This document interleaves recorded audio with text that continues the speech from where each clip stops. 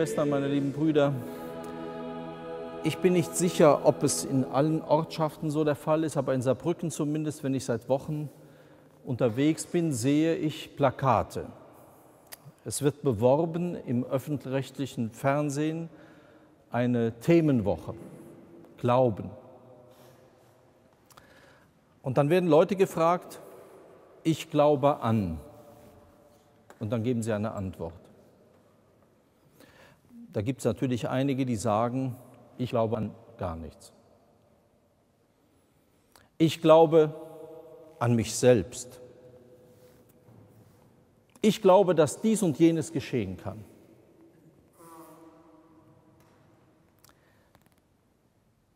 Was die Medien hier tun, liebe Schwestern und Brüder, nur in Klammern gesagt, wozu es theologische Rundfunkbeauftragte gibt, mit einem Studium entzieht sich meiner Kenntnis, wofür die bezahlt werden, weil nämlich mit dieser Frage schon einer Sache Vorschub geleistet wird, die im Deutschen schwierig ist. Was sage ich, wenn ich den Satz formuliere, ich glaube?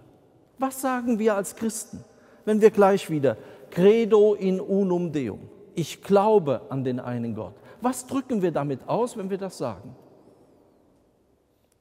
Wenn wir sagen, ich glaube an Gott, sagen wir dann das Gleiche wie, ich glaube, dass morgen wieder schönes Wetter sein wird. Ist das die gleiche Aussage? Letzteres mit dem Wetter ist eine Vermutung. Und möglicherweise haben wir Wetterdaten. Oder einige, ich frage dann immer Matthias hier, der hat eine Wetter-App. Der schaut dann immer, wo die Regengebiete hereinziehen und ob sie uns gerade noch erwischen oder ob wir im Sonnenschein bleiben. Solche Vermutungen, liebe Schwestern und Brüder, werden auf alles übertragen. Und wir, die wir hier sitzen, sind die Deppen der Nation. Wir gehen davon aus, wir vermuten einmal, dass es so etwas wie Gott gibt. Ja, dann sehen wir ziemlich alt aus. So werden wir auch in der Öffentlichkeit dargestellt. Also ein bisschen zurückgebliebene. Wir müssten eigentlich alle in eine Behindertenanstalt für geistig Minderbemittelte die noch sowas brauchen wie Gott. Inzwischen hat sich doch das gründlich geändert, oder? Wir können doch Dinge prüfen, wir können Dinge messen. Also, es ist so ähnlich wie jener erste Kosmonaut, der mit der Rakete nach oben geschossen wurde. Da haben sie den Wettlauf vor den Amerikanern gewonnen. Und der ganz stolz zurückkam und natürlich den Herren, weil denen das im sowjetischen System natürlich wunderbar zu Pass kam und sagt, ich war da oben im Weltall, ich habe Gott nicht gesehen. Also ist doch klar. Himmel, alles Quatsch. Gibt es überhaupt nicht. Wenn wir das so hören, müssen wir uns selber fragen, ja, aber was ist es denn dann mit dem Glauben? Wir sind im Moment auch als Kirche genau in der Gefahr, auf diese Art und Weise des Weltbildes einzugehen. Wir versuchen den Glauben innerhalb dieses Denkens, das wir dann manchmal als wissenschaftlich etikettieren, obwohl das mit viel mehr Annahmen und Hypothesen arbeitet, als uns eigentlich oft klar ist. Wir versuchen den Glauben da hinein zu übersetzen und sagen, nun schaut doch mal, es ist gar nicht so blöd, was wir machen. So dumm wie wir aussehen, sind wir gar nicht. Wir, wir strengen uns doch zumindest an. Und wir merken immer, es ist wie mit dem Hasen und dem Igel. Wir kommen immer zu spät. Die anderen sind immer einen Schritt weiter und das, was gestern noch die große Erklärung der Welt war, das wird heute mit, einem kleinen, mit einer kleinen Handbewegung kommt eine neue Meldung rein und dann ist das Schnee von gestern. Was interessiert mich das dumme Geschwätz von gestern? Ist es das, worauf wir uns einlassen? Ist das unser Glaube, den wir gleich bekennen, den wir leben, weshalb wir hier zum Gottesdienst zusammenkommen, weshalb wir uns Christen nennen und uns nicht nur so nennen, sondern es wirklich sein wollen? Wenn wir den Satz sprechen, ich glaube, dann tun wir damit etwas ganz anderes als vermuten. Wir tun einen gewissen Sprung, ja, Wir unterstellen, dass es in dieser Welt einen Sinn gibt. Einen Sinn, den wir nie selber herstellen können. Niemand von uns, kein Theologe und kein Papst, kann einem anderen einfach den Glauben auf den Tisch legen und sagen, so, hier hast du es. jetzt Vogel friss oder stirb. So wird es nicht gehen. Deshalb sagen wir unverwechselbar, ich glaube. Ich glaube. Weil von jedem von uns, liebe Schwestern und Brüder, wird dieser Schritt abverlangt, sich auf etwas zu stellen. Dieses Buch, das nächstes Jahr, glaube ich, vom Erscheinungsdatum 50 Jahre alt wird und immer noch lesenswert und immer noch aktuell ist, von Josef Ratzinger, Einführung in das Christentum. Dort versucht er im ersten Kapitel etwas deutlich zu machen mit einem Wortpaar im Deutschen. Stehen und verstehen.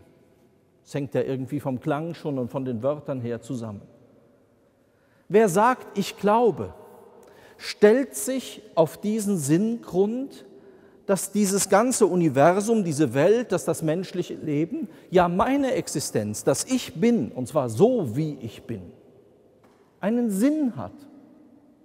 Und dass dieser Sinn von Gott kommt. Und dass sich dieser Sinn hineinbuchstabiert hat in die menschliche Geschichte hinein. Das ist also nicht irgendetwas Fremdes, Wolkiges, Manchmal redet man dann gerne vom Geheimnis und denkt, das sind so Weihrauchwolken, die irgendwo herumziehen. Man sieht es nicht ganz klar, aber wenn das mal weggeblasen ist, dann sehen wir alles deutlich. Es ist eine ganz andere Art der Wahrnehmung von Wirklichkeit.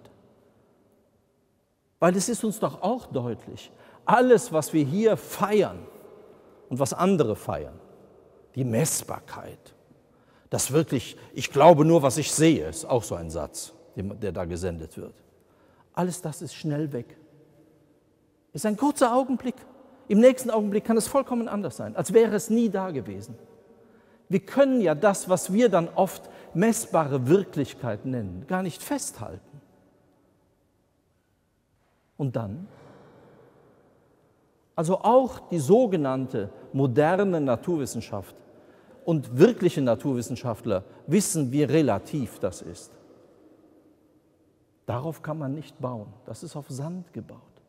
Wer sagt als Christ, ich glaube, stellt sich auf den festen Grund, dass es einen Sinn in dieser Welt gibt. Und nicht nur einen allgemeinen Sinn, sondern dass dieser Sinn Gott heißt. Und noch mehr.